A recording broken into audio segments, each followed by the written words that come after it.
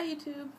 Okay, this is how I styled the Dita wig, D-I-T-A. Um, you'll see I have another video where I just put it on and um, couldn't figure out what I was going to do with it. Um, I had to, because it's kind of a large cap, I had to bobby pin it on because I felt like it was going to fly off the back of my head. So, here she is.